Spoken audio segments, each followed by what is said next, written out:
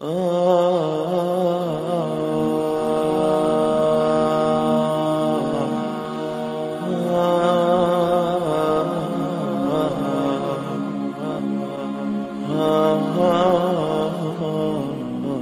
नहीं करते थे? इसलिए कि जितना एक्सपोजर इंसान का बढ़ेगा, उतना उसका इंटेलेक्ट बढ़ेगा।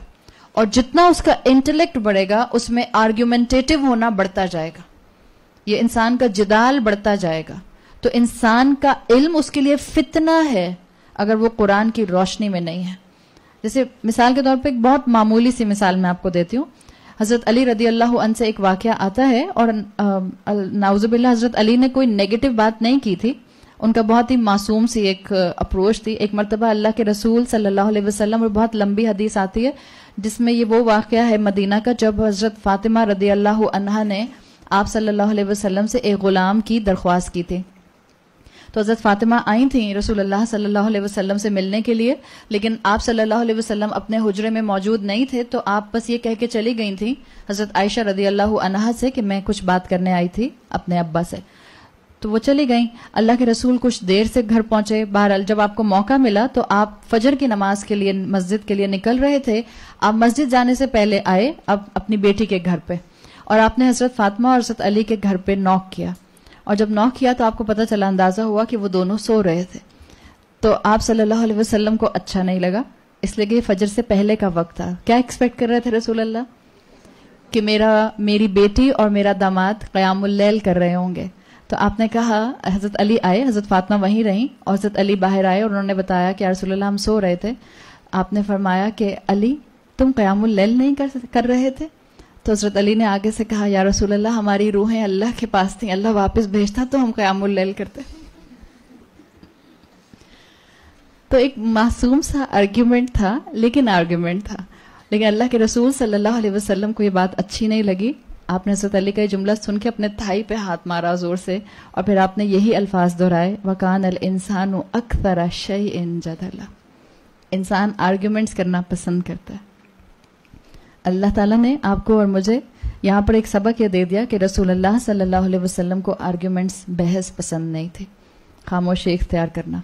इसलिए कि खामोशी इख्तियार करना या गलती को मान जाना, ये एन इंसानियत होती है। हज़रत अली की यकीनन ये इंटेंशन नहीं थी, लेकिन हमें सिखाने के लिए अल्लाह ताला ने यह वाक्य इस तरह से मेंशन कर दिया। इंसान की नेचर में क्योंकि है कि इंसान चीज़ों को एनालाइज करना चाहता है तो वो आर्ग्यूमेंट्स की तरफ़ जाता है। लेकिन स्कॉलर्स कहते हैं कि याद रखें वट इफ़ आप जब भी किसी हुक्म के ऊपर बोलेंगे, वो वाई नॉट में ज़रूर बदलेगा। आपको वो नेगेटिव की तरफ़ ज़रूर लेकर जाएगा। और इंसान जितना समयना व अताना से हटेगा, उतना बहस करेगा। और जितना बहस करेगा, वो अल्लाह की बात मानने से आहिस्ता आहिस्ता आहिस्ता आहिस्ता दूर होता चला जाएगा। इसलिए आप देखें, आपको शरीयत का जो मिजाज मिलता है, आप स्कॉलर्स को पढ़ लीजिए, आप कुरान को देख लीजिए आप मुफसरीन की तफसीर पढ़ लीजिए। कुरान और शरीयत आर्ग्यूमेंटेटिव होने को डिस्करेज करता है। In general in general Quran मना करता है, शरीयत मना करती है बहस मुबाहिसा करने से। इसलिए कि आपको कुरान और सुन्नत के टेक्स्ट से ये पता चलता है। और क्यों मना करता है? इसलिए मना करता है कि याद रखें, इससे इंसान जो है वो फ़ौरन सुनकर अमल करने की कैटेगरी में नहीं आता। बल्कि फ़ौरन सुनकर जो अगला स्टेप लेता है, वो सवालात और बहस का लेता है। और जितना सवालात और बहस करता जाता है, उतना वो ईमान और तकवा से दूर हो जाता है। आप कुरान के उसूल उठाकर देखिए। क्यों अल्लाह ताला ने इतनी बिज़ी ज़िंदगी दी इंसान को, और उसके बाद मुख्तलिफ़ इंटरवल्स के ऊपर पाँच फ़र्ज़ नमाजें दे दी? क्या जवाब देंगे आप इसका? आप जिसको दलील देंगे, वो सामने से एक और दलील दे देगा। आप एक और दलील देंगे, वो सामने से एक और दलील दे देगा। एक होता है फतवा और एक होता है तकवा। दीन किसका नाम है? दीन तकवा का नाम है। आप सल्लल्लाहु अलैहि वसल्लम कहा करते थे, जिसका जितना दिल सलामत होता है, जिसकी जितनी अकल सलामत होती है, जो जितना सलीमुल फितरत होता है, उसका दिल उसको बता देता है कि हक क्या है। उसके बाद अगर वो अपने आप को इन्वॉल्व करेगा बहस में तो उसके दिल की सलामती कम होना शुरू हो जाएगी। समय ना व पर अगर हमें आना है तो हमें अल्लाह के कलाम के साथ और शरीयत के साथ वही मामला रखना होगा, जो हम सुनते आ रहे और बोलते आ रहे हैं। We listen and we obey argument से अपने आप को महफूज कर लीजिए। इसलिए कि जब इंसान बहस करता है तो बहस में अब आप अकेले नहीं होते। आपके साथ एक हस्ती और शामिल होती है। शैतान आपको बहस करा रहा होता है। और वो बहस होती है एक्सक्यूजेस तलाश करने के लिए। अमल ना करने के लिए। अमल में डिले करने के लिए। अमल को जो है वो वैल्यू में कम करने के लिए, सिर्फ़ इसलिए होती है। तो बेसिक इंस्ट्रक्शंस हमारे पास यही है, जो हमें दीन देता है। इसलिए कि दीन ने हमसे क्या कहा है? बहस करो फरिश्तों के ऊपर। बहस करो जन्नत दोजक पे। अल्लवीन यू मिनून बिल गैब। सिंपल इज़ दैट सिंपल उसूल जो ईमान लाते हैं गैब के ऊपर, बगैर किसी बहस के। ना हम उन चीज़ों पर बहस करेंगे जो मुतशाबहात हैं, मना कर दिया गया है उस पर बहस करने से। और ना हम दीन के अहकाम पर बहस करेंगे। इसलिए कि अल्लाह के दिए हुए अहकाम क्या हम सबका ईमान है कि वो इंसानों के फ़ायदे के हैं? हमारा ईमान है कि वो इंसानों के फ़ायदे में है। चाहे वो फ़ायदा हमें अमल करते हुए नज़र आए या ना आए। अल्लाह का हर हुक्म हिकमत पर बेस है। और हिकमत किस पर बेस्ड होती है? इल्म पर। और अल्लाह का इल्म असल में जो है वो अजली अजली इल्म है। अल्लाह के पास मुकम्मल, कामिल इल्म है। इसलिए अल्लाह का दिया हुआ हर हुक्म जो है, वो बेस्ट पॉसिबल वे में इंसान को फ़ायदा देता है। तो अहकाम पर वाय मत कीजिए। स्कॉलर्स कहते हैं for every if there will be but आपका आहिस्ता आहिस्ता दीन से जो है, वो दिल खराब होना शुरू हो जाएगा और इंसान हक से दूर हो जाएगा। रसूल अल्लाह सल्लल्लाहु अलैहि वसल्लम ने फरमाया, जिसका मफहूम आता है कि अल्लाह की नज़र में सबसे हेट्रेड नफरत अमेज, यानी कि नफरत जिससे अल्लाह करता है, वो कौन है? अलद्दुल झगड़ा करने वाला, बहस करने वाला। बात बात पर बहस, बात बात पर आर्ग्यूमेंट्स और हदीस के अंदर बगैर इल्म के बहस करने को एक फॉर्म ऑफ़ कुफर कहा गया है। और क्या हम मुसलमान आज बगैर इल्म के इस्लाम के ऊपर बहसें करते हैं? सब एक माइक चाहिए बस आपको? अच्छा माइक ना भी हो तो ड्राइंग रूम आपके सोफे और आपका ड्राइंग रूम कंपनी काफ़ी है। वरना आप मेजोरिटी लोगों को देख लें, चाहे आप अपना मीडिया उठाकर देख लीजिए, जो आपके टीवी पे सब कुछ आ रहा होता है, या आप अपनी ड्राइंग रूम डिस्कशंस देख लीजिए। हर इंसान दीन पर बहस कर रहा है और बगैर इल्म के बहस कर रहा है। उसका नतीजा क्या निकल रहा है? अवामुन्नास कंफ्यूज है। लेग पुलिंग हो रही है एक दूसरे की, और कुछ नहीं हो रहा। उसका नतीजा यह निकल रहा है कि लोग ये नहीं कहते कि ये बगैर इल्म के बहस कर रहे हैं। लोग कहते हैं, इस दिन में कुछ है ही नहीं। आपस में लड़ते रहते हैं तो छोड़ो इस दिन को। इसलिए बगैर इल्म के बहस करना, अल्लाह के रसूल सल्लल्लाहु अलैहि वसल्लम ने कुफर का एक रवैया बताया है। ये जो कुरैश थे, ये जो अल्लाह के रसूल सल्लल्लाहु अलैहि वसल्लम के पास आए थे, यहूद के तरफ़ से सवालात लेकर, अल्लाह ताला ने इनको सच बता दिया था ना साहब कहाफ का? तो क्या उसके बाद ये सारे कुरैश के लोग मुसलमान हो गए थे? नहीं, ये मुसलमान नहीं हुए थे। इन्होंने उसके बाद अपना रवैया क्या रखा था? रसूल की बात सच समझ गए। लेकिन क्योंकि मुतकबर थे, इनको लगता था इनके आबाव अजदाद का तरीका ज़्यादा बेहतर है तकबर ने इनकी आँखों पर पर्दा डाल दिया। और जब तकबर इनकी आँखों पर पर्दा डाल दिया तो उसके बाद ये बहस में इन्वॉल्व हो गए थे। जब अल्लाह के रसूल ने कुरान के ज़रिए इनको कहानी सुना दी तो इन्होंने अल्लाह के रसूल से बहसें करना शुरू कर दी। यही इन, मामला इंसानियत कर रहा है। तो अपनी ज़िंदगी में अपनी टू डू लिस्ट में एक चीज़ शामिल कर ली जाए आप और मैं इस दुनिया में बहस करने के लिए नहीं भेजे गए याद रखें चाहे दीन का मामला है चाहे आपका डे टू डे लाइफ का मामला है बहस को डिजोल्व करने वाले बन जाएँ। सामने वाला आपको नज़र आ रहा होगा कि वो अभी इस टोन में आपसे बात कर रहा है कि जिसमें आप एक जुमला बोलेंगे तो वो चार जुमले और बोलेगा। ऐसी टोन हम सबकी पहचान जाते हैं। जब आप ऐसी टोन को गेज कर जाए, खामोशी इख्तियार कर लीजिए। क्या होगा ज़्यादा से ज़्यादा? हो सकता है सामने वाला आपको लूजर बात करना नहीं आती। It's okay okay. जब आप खामोश होते हैं तो आपके जवाब में, आपके बदले में कौन जवाब दे रहा होता है? और फरिश्ते मुझसे अच्छा जवाब दे सकते हैं। So it's better to be quiet जहाँ आपको महसूस हो कि अब मेरा इस वक्त जवाब देना खैर का बायस नहीं है। अल्लाह से मांगते हैं ना, हम हिकमत और किसको कहते हैं? अल्लाह मुझे बता दे कहाँ बोलना मुनासिब है और कहाँ चुप रहना मुनासिब है। और मैं आपको हकीकत बताऊँ मेजोरिटी जगहों पर चुप रहना मुनासिब होता है खासतौर पर खानदानों के अंदर। आप खानदानों में जितना अपने आप को क्लैरिफाई करने की कोशिश करते हैं, उतनी बात बिगड़ती जाती है। इसलिए कि वो आपको खानदान वाले इनसाइड आउट जानते हैं। वो आपके उस दौर को भी जानते हैं जिस दौर में आप दीन में नहीं थी। और वो आपकी वो कमी और कोताहियाँ भी जानते हैं जिन्होंने अपनी आँखों से ऑब्ज़र्व की हैं। तो खानदान में तो बहस बिल्कुल कम कर दें। दीन पर जम जाएँ, हक पर जम जाएँ। मशवरा मांगे तो मुकम्मल मशवरा दीजिए। लेकिन आपको जब लगे कि अब सामने वाला सिर्फ़ ड्राइंग रूम डिस्कशंस के तौर पर आपसे आर्ग्यूमेंट्स करने को तैयार है, आप अपनी पर्सनैलिटी को उस वक्त धीमा कर लीजिए। याद रखिए, जो इंसान बहस नहीं करता ना, उसकी पर्सनैलिटी में धीमापन होता है। मिच्योरिटी होती है। और जिसकी तबीयत में मेच्योरिटी होती है, जो चीज़ जितनी हैवी होती है, वो ज़मीन पर कायम रहती है। उसमें तकबर नहीं आता। जो चीज़ जितनी लाइट होती है, वो फ्लोट करती है। हीलियम बलून ऊपर क्यों जाता है? लाइट हो जाता है ना? लाइटर देन एयर जो जितना मुतकबर होता है, वो उतना हवा में उड़ता फिरता है। अपने आप को इल्म के वज़न और अमल के वज़न से ज़मीन पर रखिए। मोमिन जो है वो अपने आप को आजजी के साथ ह्यूमिलिटी के साथ रखता है। और जिस इंसान में ह्यूमिलिटी होती है, वो बहस में नहीं पड़ता। वो बहस को छोड़ने वाला बन जाता है। तो इन जनरल आर्ग्यूमेंट्स मत कीजिए। उलमा, सारे क्लासिकल स्कॉलर्स जितने भी हैं, इस बात पर अग्रीड हैं कि बहस करना, जिदाल करना इस्लाम में एक अच्छी क्वालिटी नहीं समझी जाती। क्या हम रसूलुल्लाह की सिफात पर बहस करते हैं? आप कबर में ज़िंदा हैं या नहीं हैं? आप इस वक्त जो है, हमारे जो हम सलाम के लिए खड़े हुए हैं, आप आए हैं कि नहीं आए हैं? जब हम जश्न ईद मिलादुन नबी मनाते हैं तो अल्लाह के रसूल को कैसा लगता है? क्या हम इन बहसों में नहीं पड़े हुए? क्या हम अल्लाह की सिफात में बहस में नहीं पड़े हुए? ये कहना कि अल्लाह हर जगह है। हम इन्हीं बहसों में पड़ गए। अल्लाह अपने अर्श पर मौजूद है। अल्लाह अपनी सिफात के साथ हर जगह मौजूद होता है। अल्लाह की सिफात ऐसी है कि अल्लाह अपने अर्श पर इस्तवा करता है और अल्लाह को जो है वो किसी जगह पर आकर उतरने की ज़रूरत नहीं पड़ती। हाँ अल्लाह की एक जो सिफत आती है अहादीस के ज़रिए, और अल्लाह कैसे आता है? वल्लाह आलम के अल्लाह हर रात, जो आखिरी रात का हिस्सा होता है, उसमें आसमान दुनिया, पहला आसमान जो है फ़र्स्ट हेवन उसके ऊपर अल्लाह आता है, और अल्लाह वहाँ निदा लगाता है। है कोई पुकारने वाला जिसको मैं जवाब दूँ? है कोई मकफरत तलब करने वाला ताकि मैं उसको बख्श दूँ? है कोई सवाल करने वाला ताकि मैं उसको अता करूँ। तो अल्लाह ने जो अपना इंट्रोडक्शन करा दिया है, वो आपकी और मेरे लिए काफ़ी होना चाहिए। लिहाजा स्कॉलर्स कहते हैं कि दीन में जिदाल की बहस की गुंजाइश नहीं है। ये बात क्लियर हो गई? नंबर एक, बगैर इल्म के बात नहीं करनी।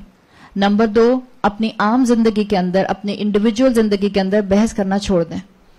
लोगों को बहस करके बार बार जो है वो कायल करने की कोशिश ना करें। एक दफ़ा पैगाम दें, उसके बाद अगर आपको लगे कि अब सिर्फ़ arguments just for the sake of arguments हो रहे हैं, कोई बात सुन नहीं रहा और दिल पर असर नहीं हो रहा जस्ट बी क्वाइट छोड़ दीजिए।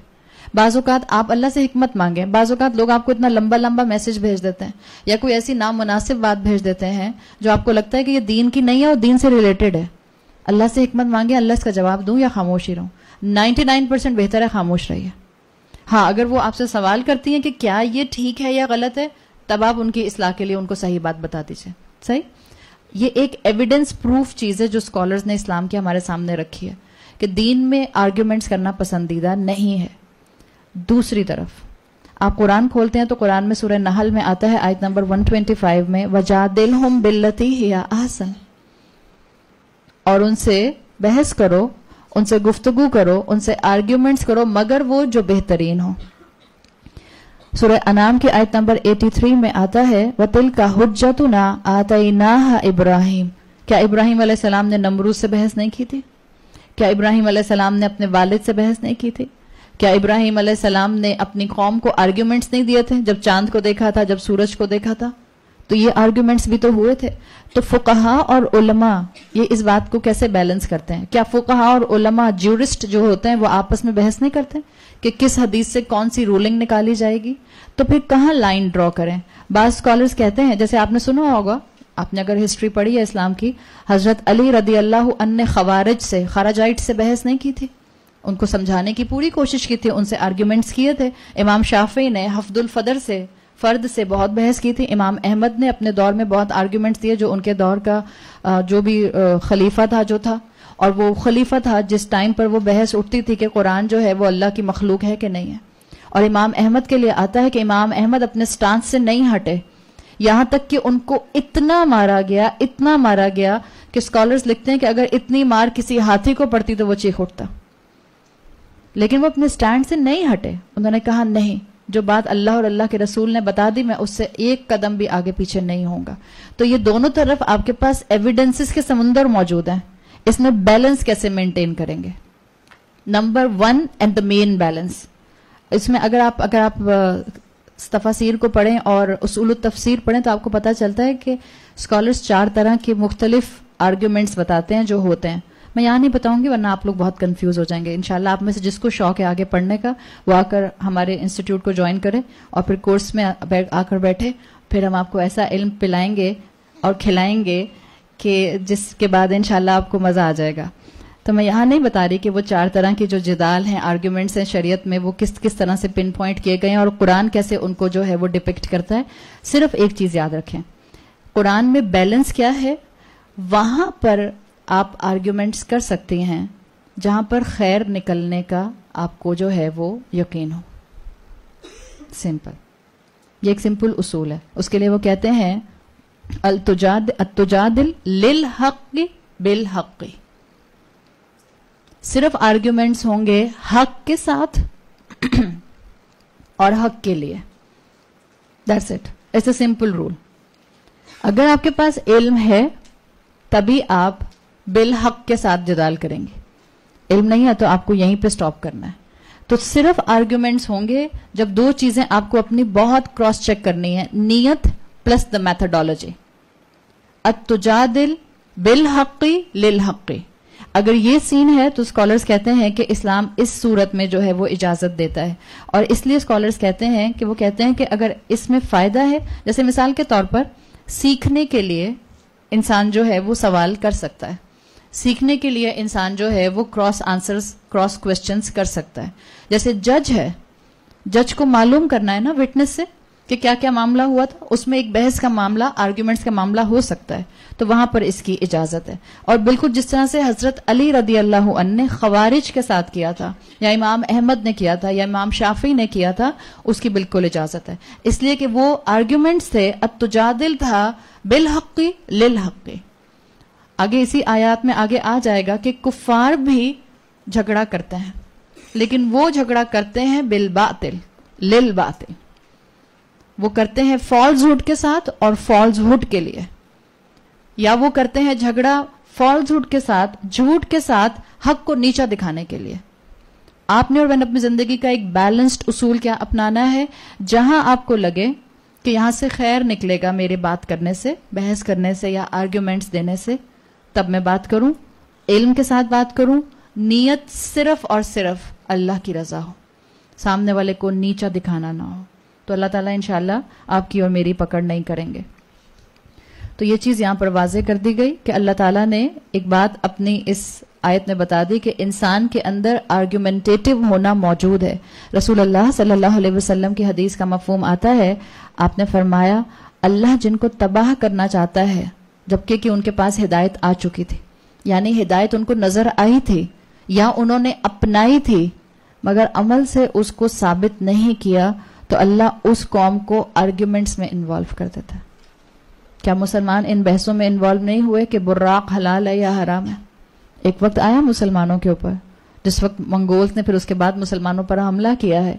मुसलमान उलमा उस वक्त इन बहसों में मशगूल थे कि बुर्राक जिस पर बैठकर रसूल अल्लाह सल्लल्लाहु अलैहि वसल्लम को आसमानों का सफ़र इसरा वल महराज कराया गया था, वह हलाल है या हराम है?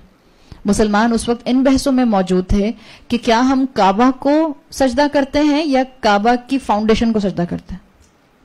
आपको मालूम है ये बात? ये बहसें हैं इस्लाम में। इसलिए उन्होंने कहा कि अगर काबा कहीं चला जाए, आपको मालूम है काबा किसी को विज़िट करने भी गया है हमारी हिस्ट्री में? गलत तरीके से जो कोट किया गया है। कि काबा अपनी जगह से गायब हो गया, इसलिए कि फला जो बड़े अल्लाह के वली थे, वो हज करने आ रहे थे, वो नहीं पहुँच सके। तो अल्लाह ने काबा को उन तक पहुँचा दिया। हमने तो दीन का ऐसे मज़ाक बनाया है। और फिर ये बहसें हुई हैं मुसलमानों के अंदर कि हम काबा की इमारत को, उसकी बिल्डिंग को सजदा करते हैं या उसकी फाउंडेशन को सजदा करते हैं? तो क्या जब काबा मूव करेगा किसी के लिए तो क्या हम भी काबा के साथ साथ मूव करेंगे? जब आर्ग्यूमेंट्स में इंसान पढ़ता है तो इतनी ही गहराई में गिरना शुरू हो जाता है। आप सब भी इस बात को सुनकर दुख का इजहार ही कर रही हैं ना?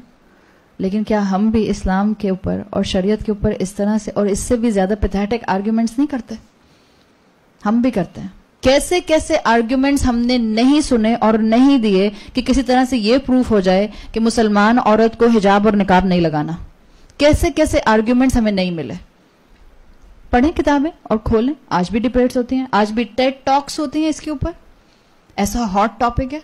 आज भी टेट टॉक्स होती हैं इसके ऊपर कि कुरान क्या कहता है हिजाब के बारे में और मुसलमान क्या शो करते हैं उसको। आज भी ये बहसें होती हैं कि मुसलमान औरत के लिए दुबट्टा लेना भी ज़रूरी है कि नहीं है? हम क्या हैं मुसलमान? हम काबा की बात सुनकर इतना परेशान हो रहे हैं? हम कुरान के वाजे उसूलों के ऊपर क्या बातें करते हैं? हया मुसलमान की मेन मेन करेक्टरिस्टिक है। मेन ट्रेट है